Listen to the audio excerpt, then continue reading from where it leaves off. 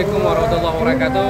Jumat berkah apa kabar semua sahabat saya sekalian di hari Jumat berkah? Nah insya Allah uh, Jumat ini saya terjadwal menyampaikan khutbah Jumat di Masjid Baitur Rahmah di Logoso Ciputat Tangerang Selatan. Saya ini dalam Masjid Baitur Rahmah di Logoso Ciputat Tangerang Selatan. Nah bagi sahabat-sahabat yang dekat dengan masjid ini silakan ikutan ya. Insya Allah saya akan bahas tentang apa. Meladani gaya hidup uh, uh, Rasulullah sahabat sekalian. Nah insya Allah luar biasa. Alhamdulillah kita sudah masuk bulan Rabiul Awal ya sahabat sekalian.